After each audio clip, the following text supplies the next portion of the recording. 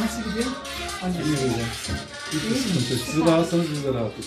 Çok güzel. Tamam hocam. Nereden geliyoruz? Hangisi? Hoş geldiniz. Yine nasıl olur? Sizi uzun zamandır takip ediyoruz. Ee.